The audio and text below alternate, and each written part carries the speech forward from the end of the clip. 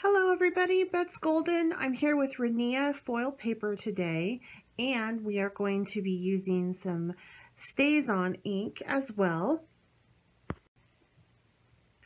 So let me first show you the foil paper I'm using and I have to explain this to you. I am directly, I'm on my desk right now and directly overhead is my, my light which has a horrible big glare right on this spot. So I have it covered with a piece of pattern paper that is not even relevant to what I'm doing.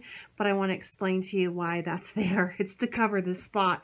But I can't do this technique over where I normally film my filming station because I don't want to take my glass mat over there. So anyway, and I'm going to need that today. So I'm going to be using the Frosted Variety Pack. It comes in two sizes, the Artist Pack and also the Crafters Pack. For this, I just need the artist pack.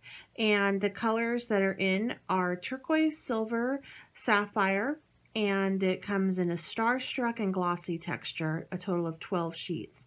So I'm using the silver for this as well as the turquoise um, starstruck. And what I did was I took the silver out Dun, dun, dun. Let me find it for you so you can see it. It's a glossy. It's perfectly flat. Okay, so there's nothing really, ooh, sorry, didn't mean to blind you. There's no texture to this. It's just glossy and shiny, right? So my first step to do this, and it's important that I go in this manner or else I could um, tear my paper and I don't want to do that. So I take that um, silver glossy sheet. I cut it down to my card size and I'm making a small card today. It's a 4 by 5 so I cut it down to 3.75 by 4.75 and then I ran it through my Cuttlebug with this beautiful snowflake embossing powder, embossing folder.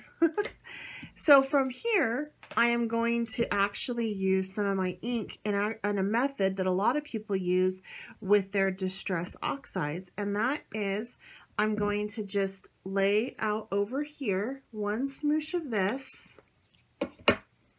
and one smoosh of this one. And it's the Cloudy Sky and Midnight Blue.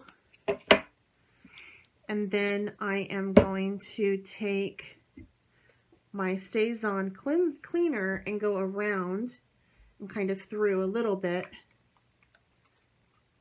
And then my water and mist it. From here, I'm just going to take my silver side and start to pick up some of that color like you would do if you were doing the distress oxide or distress ink.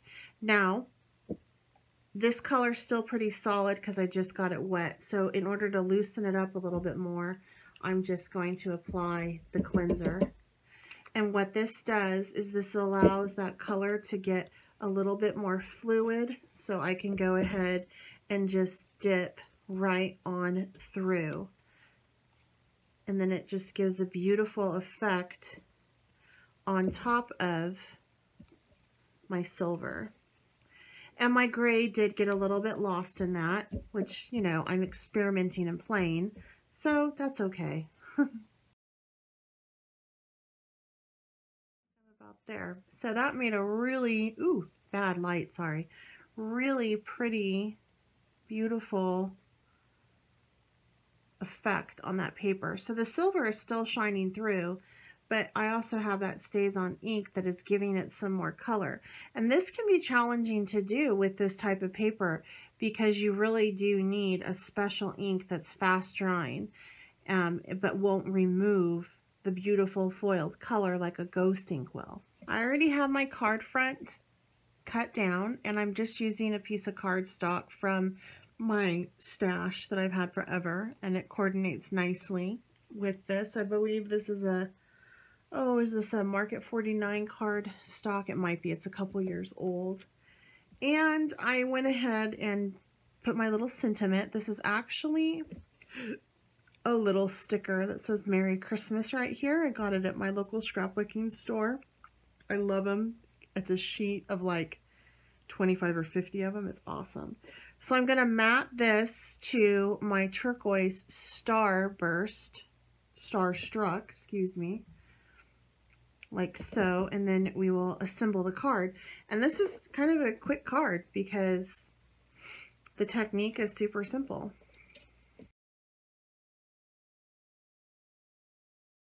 I'm going to apply my, whoops, sorry, glue directly to my cardstock because I've really put that foil paper through the wringer with, first I beat it up in my Cuttlebug and then I went ahead and ran it through some ink and that was wet so it needs some time to recover. I'm afraid that if I put this directly on my foil paper it might actually tear. It's pretty durable stuff but too much abuse and anything's bound to break, literally. If you notice, I am assembling my card with my crease line here, but it's totally open. And the reason is because if you assemble cards flat and closed, it will allow that spring to action to happen and you won't get a very nice coverage. And my ink is still a little wet, which is normal because I used water on this, so that makes sense. And then from here, I'm going to apply my cute little sentiment and call this card good. Was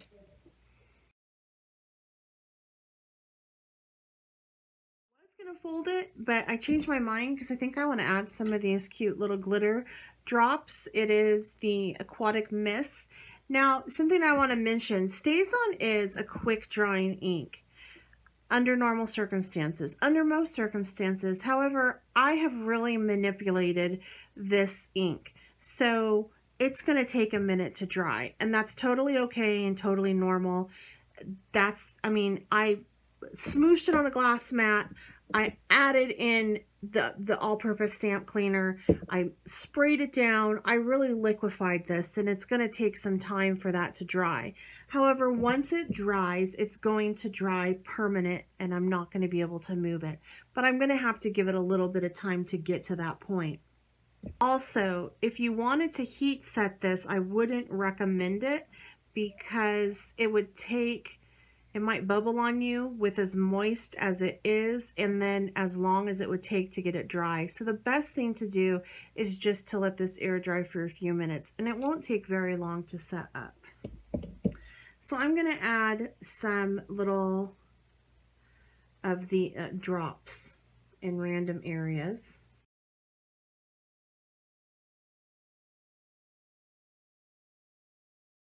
It's finished and I'm going to let it dry before I fold it.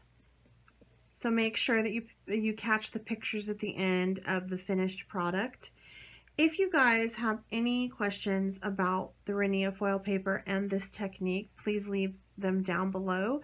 This is kind of a new technique. I've ne I have not seen this demonstrated anywhere on any um, blog or in in any YouTube video. So definitely if you have questions, please leave them down below. Also, I don't know if you guys can see this, but this is very, very interesting. I think it's kind of cool.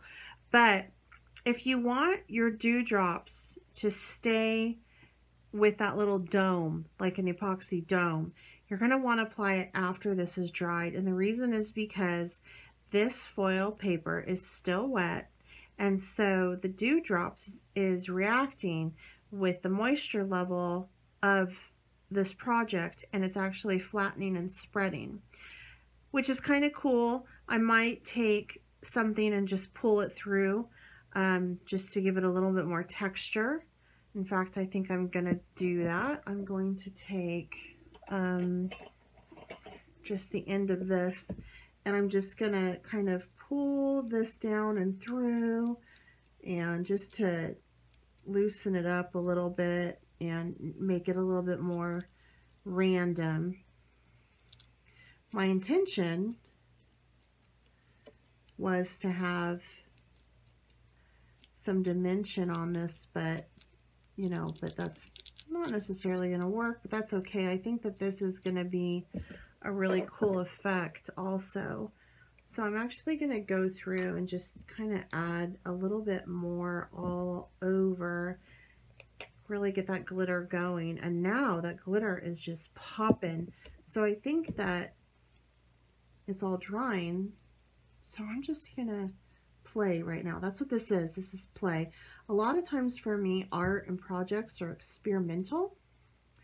And I'm never, I don't, I change my mind and I do new things as the process continues. So I'm really kind of liking that. It's looking pretty cool with the little, with the glitter and stuff in, in this drops. Stickles would actually be really good for this, what I'm doing right now. That would be really fun. I think that that's going to be all I'm going to add of, with this because Stickles automatically flattens out.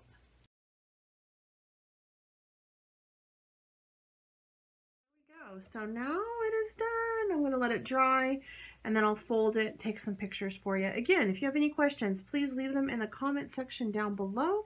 I will do my best to answer them.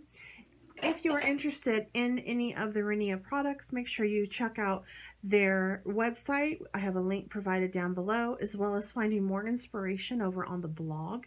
There's lots of stuff going on over there that's really awesome. And also make sure uh, that you like this video and feel free to share it. Until next time, happy crafting.